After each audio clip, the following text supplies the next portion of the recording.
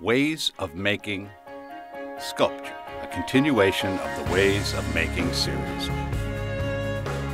Exhibiting the work of Barbara Cooper, Bob Emser, Juan Angel Chavez, and Vivian Visser.